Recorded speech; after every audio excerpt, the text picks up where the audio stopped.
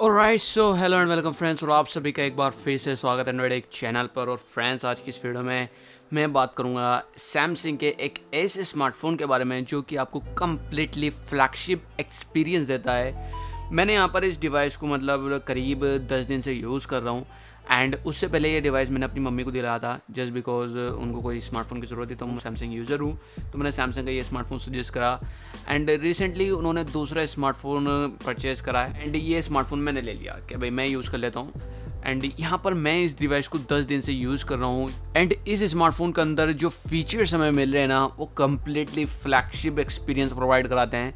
मतलब लिटरली मतलब भाई मैं अपने हिसाब से कहूँ ना मैं बिल्कुल एक्सपेक्ट नहीं कर रहा था कि इसके अंदर इतना ज़्यादा बेटर यूज़र एक्सपीरियंस मिलेगा, जो कि मतलब कमाल है। एक ए सीरीज़ के स्मार्टफ़ोन के में। ये मतलब ए सीरीज़ का है। ये था सैमसंग का गलेक्सी ए फिफ्टी वन जो कि मैंने परचेज़ करा था आई थिंक मार्च के अंदर, मार्च या अप्रैल के अंदर। पता नहीं मतलब दो ढाई महीने इसको हो चुके हैं। एंड ये है आठ G B RAM and one twenty eight G B internal storage सबसे पहली चीज़ भाई डिज़ाइन तो इसका काफ़ी बढ़िया है। जो कि मुझे पर्सनली काफ़ी ज़्यादा पसंद आया था। बस यहाँ पर अगर सैमसंग ग्लास्टिक की जगह अगर यहाँ पर प्रॉपर ग्लास यूज़ कर लेता ना तो ज़्यादा बेटर रहता। जस्ट बिकॉज़ वो ज़्यादा जो है स्क्रच रेजिस्टेंट होता। यहाँ पर स्क्रैच लग जाती हैं बट मैंने उसकी प्रोटेक्शन के लिए यहाँ पर जो है कम्प्लीटली लेमिनेशन कराई हुई है। यहाँ पर थ्री लेयर वाली लेमिनेशन आती है, काफ़ी अच्छी होती है। बट स्टिल ग्लास के कंपेरिजन में यार कुछ नहीं है, क्योंकि ग्लास तो ग्लास होता है यू नो बट वहाँ पर आ, हमें एक डिसएडवांटेज ये मिल जाता है कि अगर वो क्रैक हो जाता है तो यार काफ़ी बुरा लगता है क्रैक हुआ। एंड ये क्रैक नहीं हो सकता। ये एक इसका पॉजिटिव पॉइंट है। वेल well, यहाँ पर इसके अलावा भाई इस डिवाइस के अंदर काफ़ी कुछ है। तो यार शुरू करते हैं इस वीडियो सो so, भाई साहब यहाँ पर सबसे पहले मैं बात करना चाहूँगा इसके फिंगरप्रिंट स्कैनर के बारे में। मतलब भाई फिंगरप्रिंट तो आप ना ही पूछो तो बढ़िया है। मैं इतना फास्ट बिल्कुल भी एक्सपेक्ट नहीं कर रहा था कि इसका फिंगरप्रिंट इतना अच्छा होगा। लिटरली बहुत ही ज़्यादा फास्ट है सैमसंग के ए फिफ्टी के कंपेरिजन में आई थिंक ये थर्ड और फोर्थ जनरेशन का है एंड यहाँ पर हमें फोर्थ जनरेशन का देखने को मिलता है। मतलब एक्यूरेट है as compare to A fifty अगर आप ए फिफ्टी यूज़र हो और ए फिफ्टी वन पर स्विच करते हो तो फिर आपको खुद को पता चल जाएगा कि कितना ज़्यादा एक्यूरेट है as compare to A fifty तो भाई फिंगरप्रिंट के मामले में बहुत बढ़िया है। कैमरा के मामले में मैं बिल्कुल नहीं सोचा था कि इतनी ज़्यादा अच्छी सॉफ्टवेयर ऑप्टिमाइजेशन दी हुई हुई है। यहाँ पर जो अल्ट्रा वाइड लेंस है, वो बहुत ज़्यादा ज़बरदस्त वर्क करता है। एंड मैं आपको एक चीज़ बताता हूँ अगर आप कोई भी स्मार्टफ़ोन यूज़ करो सैमसंग का वन यू आई टू या one U I two point one पे तो आप जाना कैमरा सेटिंग के अंदर, कोई भी ए सीरीज़ का है ना तो उसमें ज़रूर करना है चीज़। काफ़ी कमाल की पिक्चर्स आती हैं। यहाँ पर ऑटो एच डी आर होगा, इसको टर्न ऑन कर लेना। पर फ़ोटो खींचने के बाद में जो इसकी इमेज प्रोसेसिंग चलती है, वो बहुत ही ज़्यादा ज़बरदस्त है। अल्ट्रा वाइड हो या नॉर्मल वाइड कैमरा हो कैसे भी हो, काफ़ी ज़्यादा अच्छी फ़ोटो यहाँ पर हमें आती है। साथ ही साथ वीडियो की अगर बात की जाए ना तो वीडियो में मुझे कुछ खास ऐसा इंप्रूवमेंट नहीं लगा, जो सैमसंग का ए फिफ्टी है सैम वैसे वीडियो रिकॉर्ड करता है। बट थोड़ा बहुत माइनर आपको कलर का जो सेचुरेशन है, वो थोड़ा सा ज़्यादा देखने को मिल जाएगा। इसके अलावा यहाँ पर आपको तो पता ही है क्या क्या देखने को मिलता है। हाँ यहाँ पर एक चीज़ मुझे काफ़ी ज़्यादा अच्छी लगी, जो सैमसंग है ए फिफ्टी में बिल्कुल भी नहीं है। इवन ए सीरीज़ के किसी भी स्मार्टफ़ोन में नहीं थी, इससे पहले, जो कि है प्रो मोड अब भाई यहाँ पर जो प्रो मोड है ना, वो एक्चुअली में प्रॉपर प्रो मोड है। मतलब ऐसा नहीं है जो आपको नॉर्मली सैमसंग के स्मार्टफोन्स में देखने को मिलता है, यहाँ पर देखो ये मिलता है नॉर्मली हमें प्रो मोड के नाम पर। सिर्फ़ और सिर्फ़ तीन ऑप्शन मिल जाते हैं I S O white balance and ये जो कलर फ़िल्टर कलर का हम चेंज कर सकते हैं, ये चीज़ हमें देखने को मिलती है प्रोमोड के नाम पर। बट यहाँ पर हमें एक्चुअली में प्रॉपर प्रोमोड देखने को मिलता है। यहाँ पर मैं आपको दिखाता हूँ इस स्मार्टफ़ोन को। ये है इसकी शटर स्पीड जो कि जा सकती है 10 सेकंड तक की, जो कि फ्लैगशिप वाला स्मार्टफोन्स में होता था।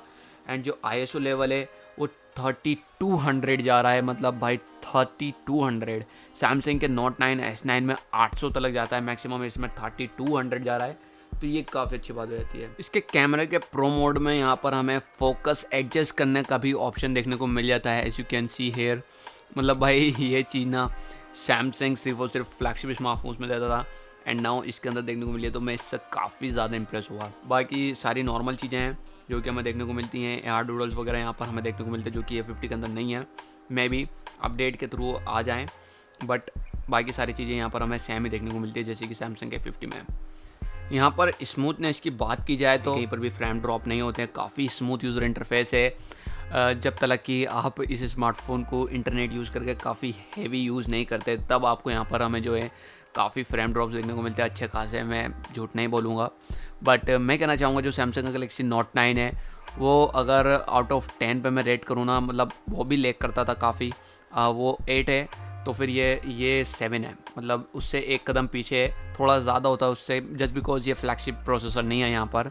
एक्जीनोस का खुद का Exynos nine six one one है। इसके अलावा यहाँ पर मुझे एक चीज़ और काफ़ी अच्छी लगी, इस स्मार्टफ़ोन के अंदर जो कि हमें देखने को नहीं मिलती। पहले किसी भी सैमसंग स्मार्टफ़ोन के अंदर ए सीरीज़ के स्पेशली जो यहाँ पर जो एप एच पैनल है ना, वो काफ़ी ज़्यादा बड़े तरीके से काम कर रहा है एंड कम्प्लीटली जो हमें फ्लैगशिप स्मार्टफ़ोन के अंदर फीचर देखने को मिलते हैं ना टोटल वो देखने को मिल रहे हैं यहाँ पर। आप देखोगे कंपास है टेली काउंटर है, टॉर्च है, सरफेस रूलर है, या सरफेस लेवल रूलर भी है यहाँ पर। इसके अलावा यहाँ पर हमें जो एप एच पैनल है वो देखने को मिलता है नॉर्मली एंड यहाँ पर एक और फ़ंक्शन है जो कि हमें फ्लैगशिप फीचर से फ्लैगशिप स्मार्टफ़ोन से यहाँ पर इम्पोर्ट किया गया है।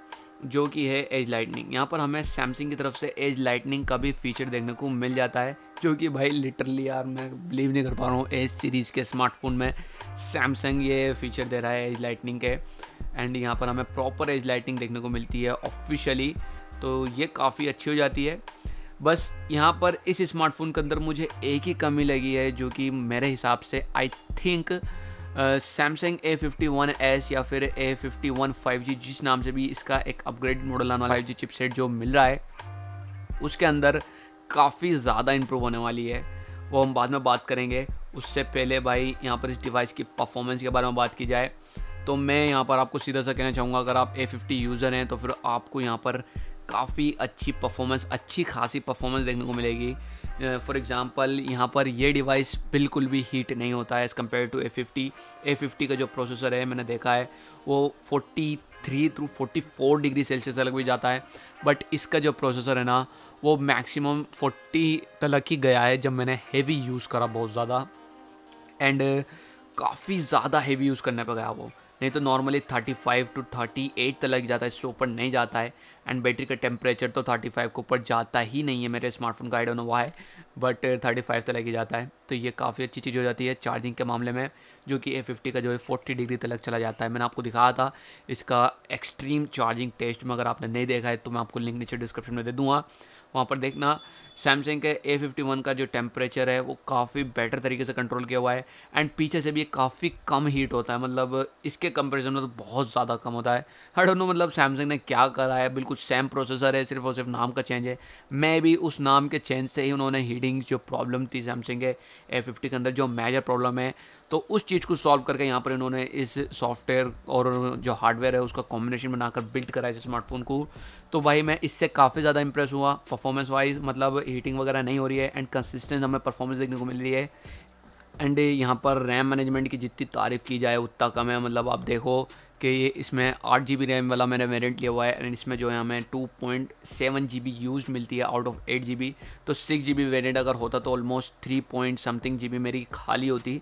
तो रैम मैनेजमेंट के मामले में भाई ये डिवाइस काफ़ी ज़्यादा बेटर है as compare to A fifty A fifty का रैम मैनेजमेंट बिल्कुल भी अच्छा नहीं है, मैं खुद कहता हूँ ए फिफ्टी का रैम मैनेजमेंट काफ़ी ज़्यादा ख़राब है।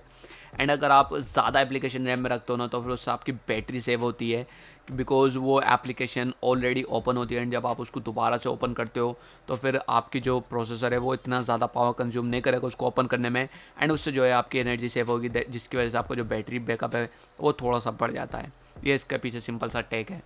एंड यहाँ पर बैटरी बैकअप के मामले में भी सैमसंग के ए फिफ्टी से ये कई गुना ज़्यादा आ गए ये रात भर में लगभग पाँच से छः परसेंट गिरा देता है।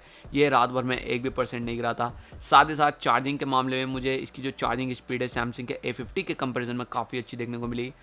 नॉर्मली वीडियोज़ वगैरह देखने पर था। ये जो टेन परसेंट में हमारा एक घंटे दस मिनट चला। एंड ये काफ़ी हैवी यूज़ करने पर था। मैंने कुछ टाइम पबजी भी खेला था तीस मिनट के लिए। एंड उसके बाद में यूज़र नॉर्मली जो होता है मतलब इंस्टाग्राम फेसबुक वो यूज़ करा था। तो 26 परसेंट एक घंटा 14 मिनट के अंदर गया। एंड उनतीस मिनट के अंदर उनतीस परसेंट ही चार्ज हुआ, जो कि काफ़ी अच्छी बात हो जाती है। मतलब भाई, उनतीस मिनट के अंदर ये डिवाइस सत्ताईस या, सत्ताईस परसेंट ही चार्ज होता है।